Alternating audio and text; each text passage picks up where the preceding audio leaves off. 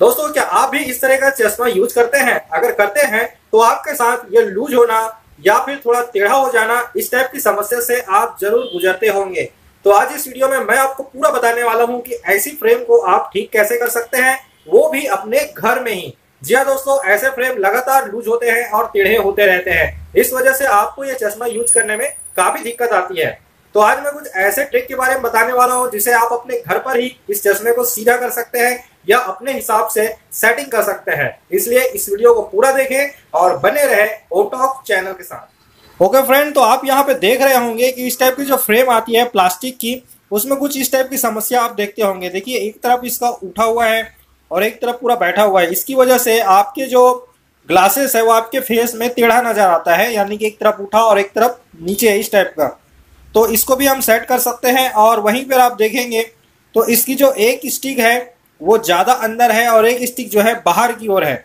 तो ऐसी स्थिति में आपका जो फ्रेम है, वो आगे पीछे इस टाइप का महसूस होता है, यानी कि टोटल मिला के हम कह सकते हैं कि ये कंफर्टेबल नहीं लगता है।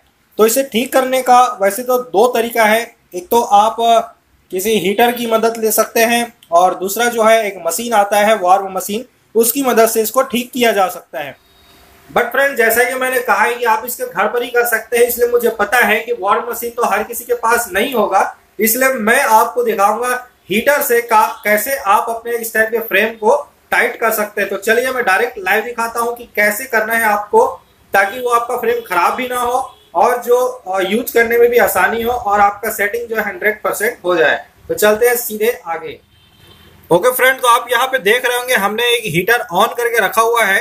और देखिए आपको करना क्या है, जिधर फ्रेम की स्टिक जो है ज़्यादा मुड़ी हुई है, उसी एरिया को आपको इस तरीके से गर्म करना है और आगे पीछे करते रहना है, क्योंकि अगर आप ऐसा नहीं करेंगे तो एक ही जगह रखने से आपका फ्रेम जो है जल सकता है, इसलिए इसको हल्की आँच के लिए आगे पीछे करते रहें और उसके बाद जब ये अच्छी तरह से गर्म हो जाए तो आपको इसको करना क्या है, अपने सही स्थिति में लेके आना है, जैसे इस तरफ़ से ऐसा धक्का देना है। तो ये हो जाएगा बिल्कुल सीधा और आपको लगाने में होगी काफ़ी आसान। वैसी अगर ये ऊपर या नीचे हो रही है तो बीच को आप सेंटर को आप गर्म कर सकते हैं इस तरीके से, और वही फार्मूला आप नाना है, आगे पीछे करते हुए, और जब अच्छे से गर्म हो जाए तो तब जाके आपको इसको बैंड करना है, जिधर ऊपर लग रहा है, उसको पकड़ के नीचे करना है। तो इस तरीके से आप जो है, अपने चश्मे को बहुत ही आसानी से बैलेंस कर पाएँगे।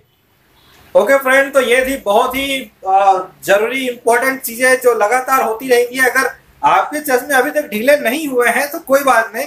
लेकिन अगर ऐसे फ्रेम अगर यूज़ करते हैं तो एक ना एक दिन ढीला होना ही है, क्योंकि यूज़ करते करते ये जो है फैल जाता है और इसमें इस टाइप की समस्या होती रहती है। तो आपको टेंशन लेने की या घबराने की बिल्कुल भी ज़रूरत नहीं है, क्योंकि हम इसको बहुत ही आसानी से ठीक कर सकते हैं। और मैं कहना चाहूँगा कि अगर आपसे ऐसा नहीं हो पा रहा है, आप ठीक नहीं कर पा रहे हैं तो फिर आप किसी ऑप्टिशियन को जाकर ये ठीक करवा सकते हैं। बहुत ज़्यादा चार्ज नहीं लगता है। क्योंकि इसमें थोड़ा सा रिस्क रहता है, क्योंकि अगर आपने ज़्यादा गर्म कर दिया या टेम्परेचर को सेट नहीं कर पाए तो फिर आपका फ्रेम जो है और साथ साथ आपका लेंस भी खराब हो सकता है। इसलिए सावधानी जो है थोड़ा ध्यान में रखना है। तो उम्मीद करता हूँ ये वीडियो आपको अच्छी लगी होगी, है तो काफ़ी काम की। दोस्तों, फिर मिलेंगे एक नए वीडियो में, और बने रहिए ओम टॉक चैनल के साथ। नमस्कार दोस्तों।